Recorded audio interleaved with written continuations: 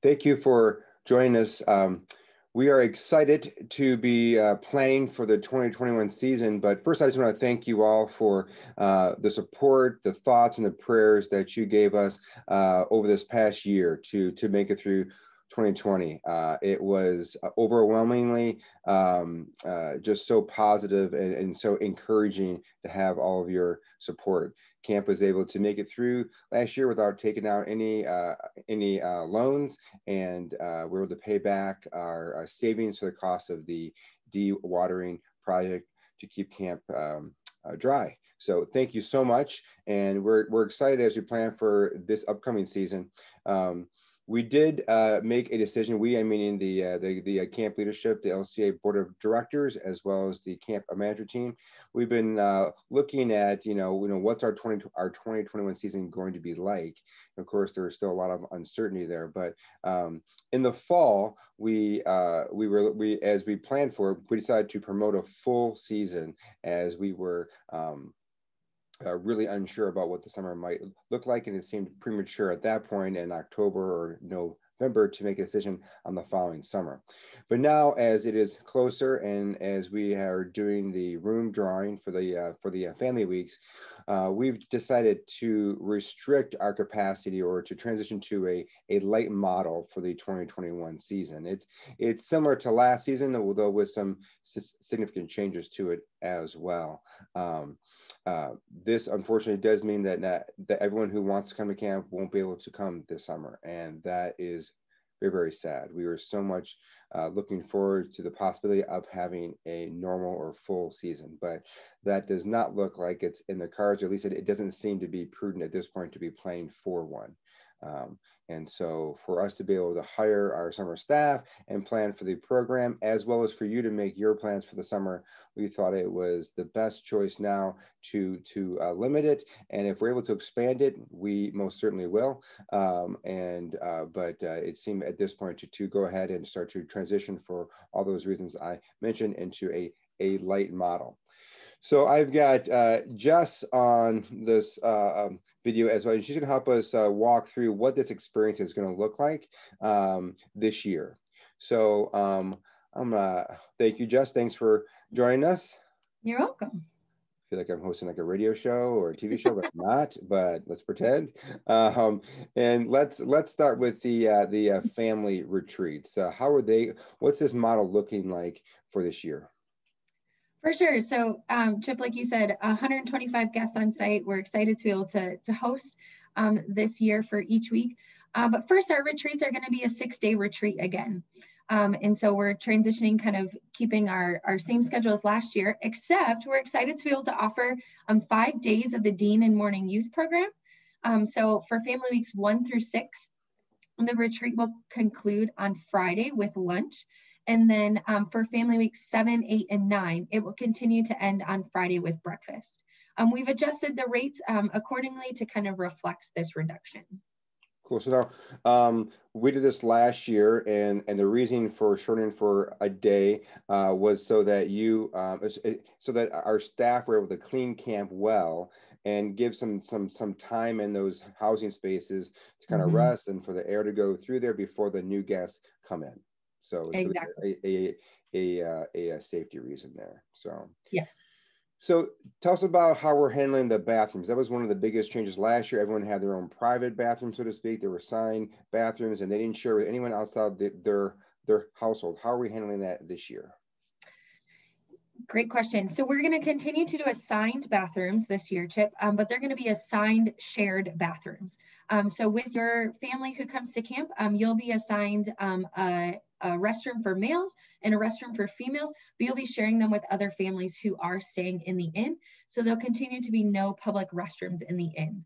Um, this kind of transition um, helps us also to be able to accommodate 125 people for the week. Wonderful. All right. And what are your thoughts on, on, on what the program is going to be looking like this year? Yeah, we're excited to be able to offer some more programmatic activities. You know, we've learned a lot about uh, camp and COVID. Um, a lot of research has been done about camp and COVID. So we feel we're able to offer more um, and do that responsibly and safely this year. So that's going to include a morning youth program for kids. So that's children's ages, you know, zero through college. Um, some more sporting activities, you know, group things like softball, um, and also some of our kind of our hallmark tournaments. And we are going to continue to do things outside as much as possible, um, you know, and evaluate kind of our indoor space. We've got some creative ideas in the pipeline about how to maybe make use of those indoor spaces and, and still manage that risk well. Right. So we've we've learned some uh, things. We meaning everybody, the entire world, about how COVID is trans from person to person. And so the contact stuff, while still a concern, not as great of, of, of a concern. So um, sharing basketballs and that kind of stuff is not as a concern as long as people are still washing their hands and hand sanitizing. But we're not looking to have to wipe down everything in between use, which is how it was last summer. So it does open us up. So um, exactly. and um, you know, we are uh, last summer we had we had 14 summer summer staff, and this year we're looking to have what closer to 20 25 or so yeah around 25 maybe 30 kind of depending on where we land right yeah so that'll allow us to offer some more programming as well and um, and be able to move things around a little bit a little bit easier um, uh, people always want to know about the meals so how are the meals going to be offered this this next year you got it. We're going to offer indoor meal service again for breakfast and dinner. So that'll be served family style in the dining room. Um, and then lunch will continue to be served as a takeout lunch. And um, we're going to try to, you know, modify that experience a little bit so you'll be able to tailor that lunch for your family. Um, but we'll kind of keep that model of, of two of our indoor meals served and then a takeout lunch.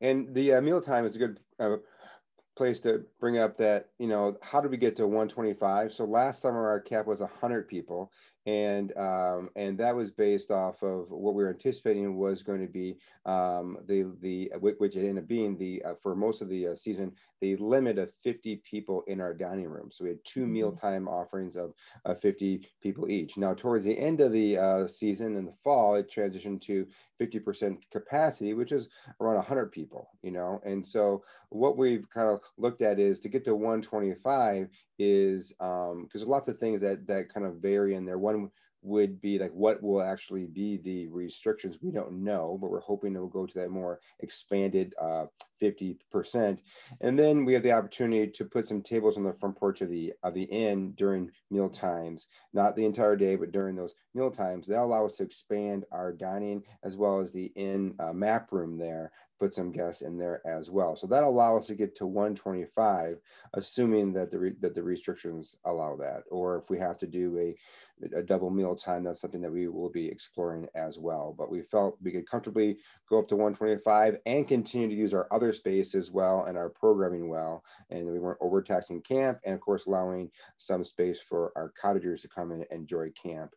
Uh, we really want to welcome them back this year. Uh, they were very judicious in their use of camp last last summer, but we're really hoping that they come back and are able to be down at, at camp and enjoy the programs that we have. So, all right, tell us more. I know many of the COVID restrictions we're often familiar with, or they're really not any, any different at camp. I want you just kind of walk us through that so we under, under understand what are the COVID restrictions going to be for this next season.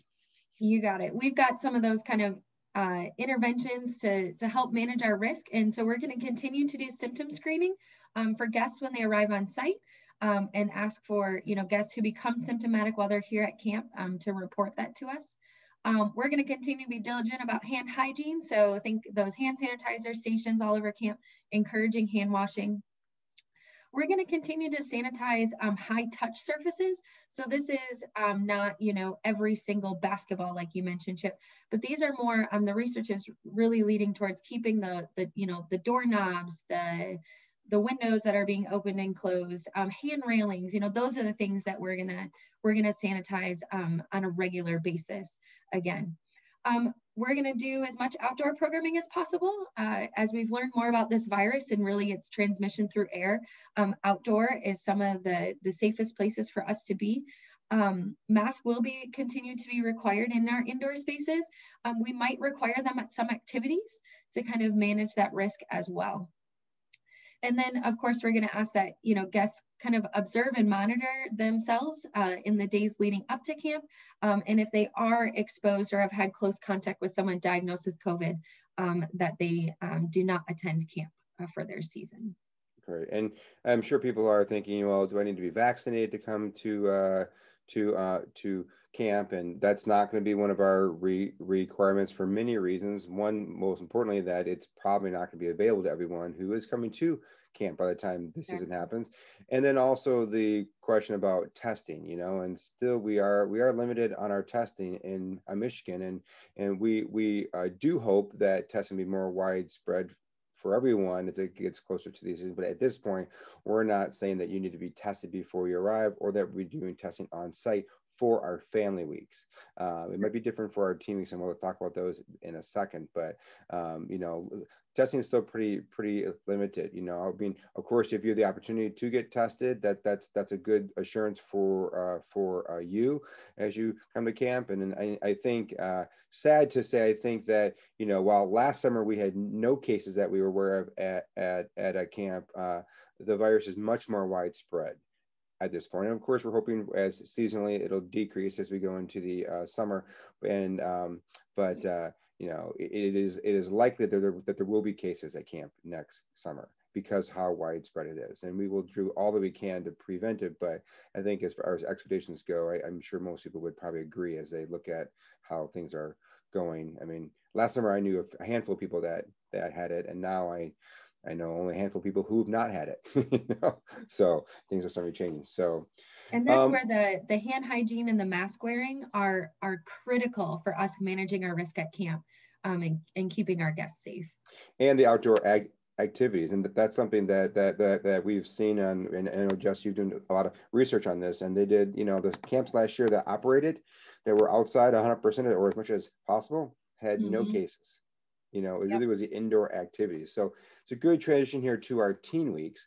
So um, let's let's that that is something that uh, we didn't have our our teen weeks last year, and it was extremely sad not to not to have them. But we are planning on having them this year. Uh, we decided to uh, to limit the number of campers that we could have here to 80. And normally we have, we could have up to 165 teens here. We decided to go with 80 because that, that was the uh, number that we could keep the group small enough. Housing, you know, we're not planning on putting a lot of people in rooms or be really more uh, selective on that and keeping them uh, smaller. All in case there was, un, there were people that had it at camp, it's not going to spread to the entire camp. So that's our reason to keeping it at 80, a kind of a, a, uh, a, a manageable number.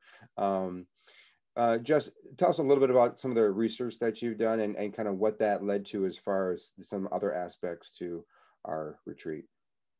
For sure. So um, there's been research that's been done on camps who held programming in 2020 um, and kind of their their response to COVID, who how many cases they had at camp. Um, and these are national organizations who are doing this research have published it. And so for us, um, their, their significant findings have led to us doing all of our meals outside for teen weeks. So we're gonna kind of transform that patio space into an outdoor dining space. Um, groups will get to rotate around to different, to different eating spaces um, on the patio, but we're excited to, to eat outside. Um, and also we're going to kind of transition our group model a little bit. Usually when you come to camp, um, you're not in a group with your roommate.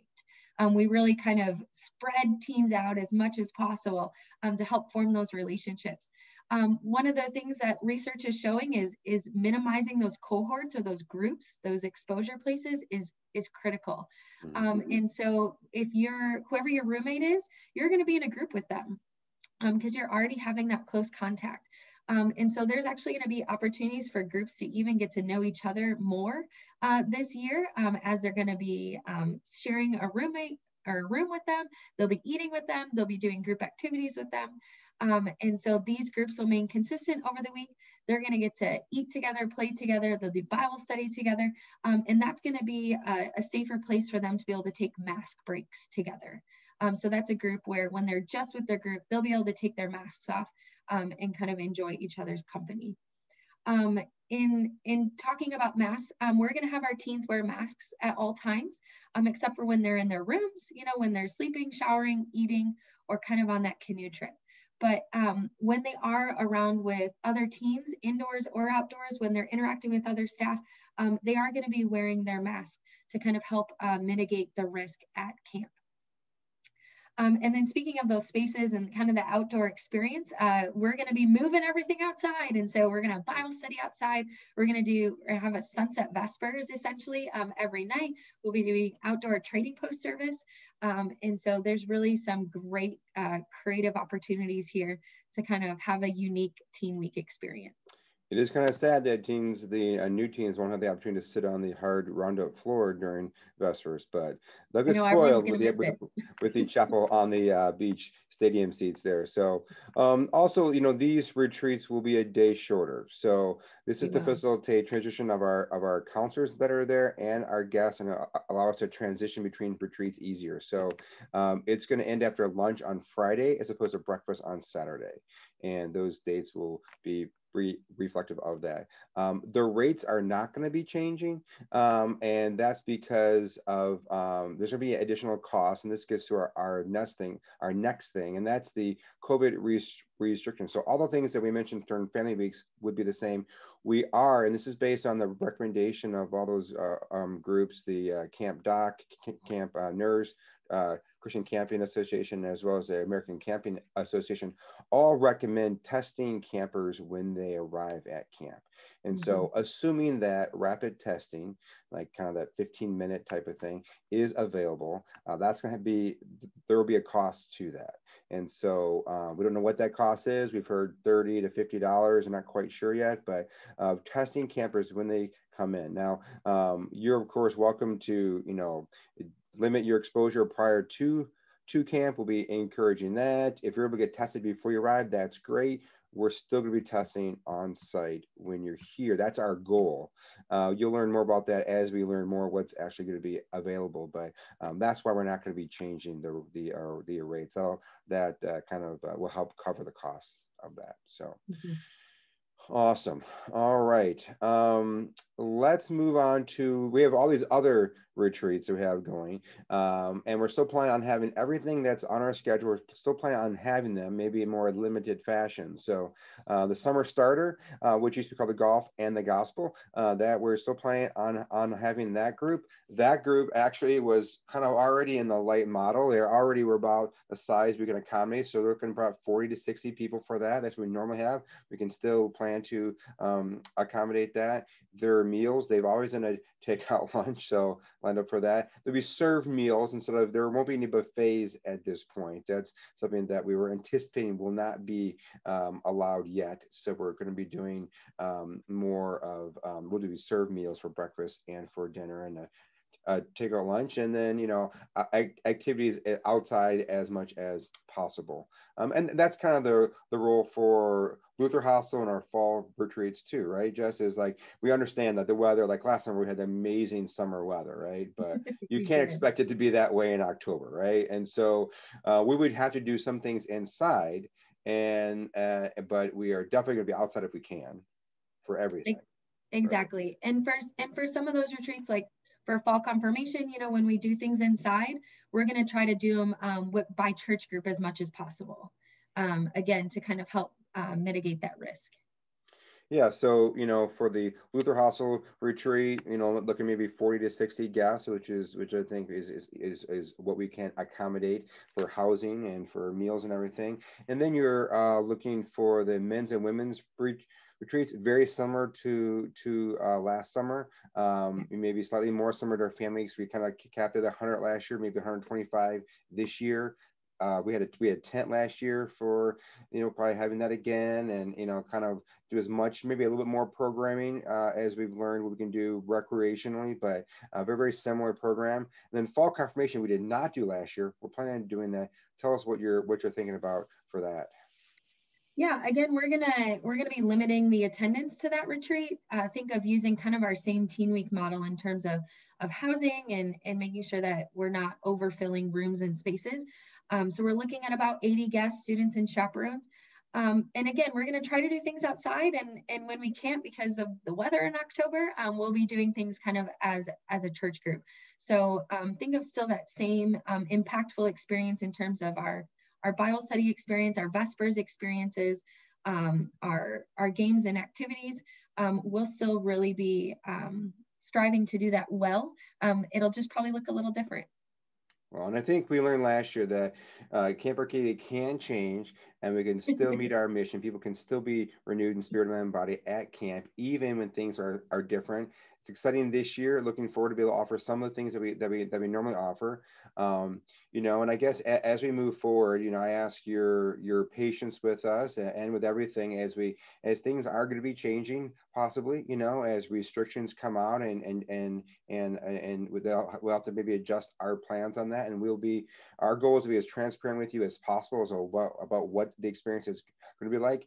Um, remember that if, if you make a reservation and, and you can't make it because you've been exposed to COVID or you have COVID, that you'll get that you'll get a full refund. We want people to be safe. We don't want people to lose on on that. Um, we also know, like you know, you're hopefully watching this video on on Wednesday or Thursday, and uh, before you've been, if you applied for the family week, you're probably you know on Friday, we'll be sending out emails, everyone letting me know if they got in or didn't get in. Uh, give us this next two days to continue to work out this and figure it out. And then Friday, you know, once you get your your status on that, whether you're you got in or if you're on the waiting list, there'll be some opportunities some other weeks that are some openings in there. So mm-hmm. there's some moving around there. But I would encourage you once again to have some patience. There probably will be a good amount of movement of people who have to cancel and come in. So you might have not gotten in, but that was always the case that there was movement off the wait list there will be possibly this year even more than that. So, um, and uh, you know, once again, thank you for all of your support, for your thoughts and your prayers and your gifts um, as we as we go into this year as well. So, and we do look forward to hearing from you. If you've got questions, you want to learn more about these different retreats and what the experience is going to be like, as we know more, we will let you know. But feel free to reach out to us too. So, well, thank you so much.